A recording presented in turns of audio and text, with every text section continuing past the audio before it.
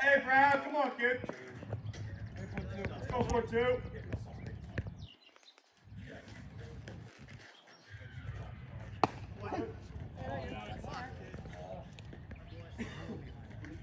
What do you say, kid? You